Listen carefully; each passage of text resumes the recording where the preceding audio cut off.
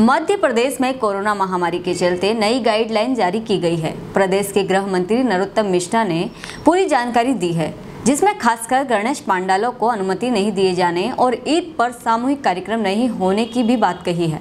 भोपाल से ताहिर खान की रिपोर्ट। माननीय मुख्यमंत्री जी ने की, माननीय मंत्री मेडिकल एजुकेशन विश्वास सारंग जी माननीय स्वास्थ्य मंत्री प्रभुराम चौधरी जी भी उपस्थित थे।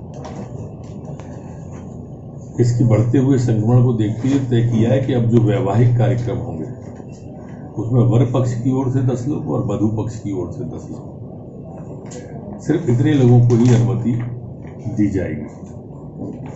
वैवाहिक कार्यक्रम के अलावा अंत्येष्टि में अगर 20 लोग से ज़्यादा लोग नहीं जा पाए, जन्मदिन है, रिंग सेरेमनी है,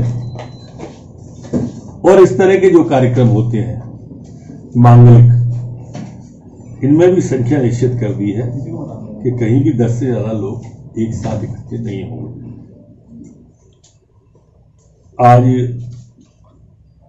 ये भी प्रार्थना मैं आपके माध्यम से करना चाहूँगा। उन मूर्तिकारों से जो भगवान श्री गणेश जी की मूर्ति को बनाते हैं, जो माँ दुर्गा की प्रतिमा को बनाते हैं उनसे मेरी करबद्ध प्रार्थना है कि वो छोटी मूर्तियाँ ही बनाएँ जो घरों में स्थापित हो सके।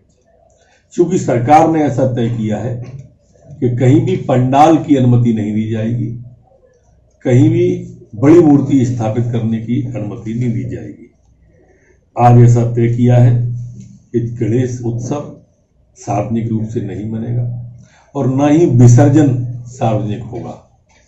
एक एक दो दो लोग ही प्रतिमा स्थापित करने वाले जाते। इसी तरह से ईद जो 31 तारीख को है ईद में भी अब सामूहिक कार्यक्रम नहीं होगा सामूहिक नमाज़ अदा नहीं होगी।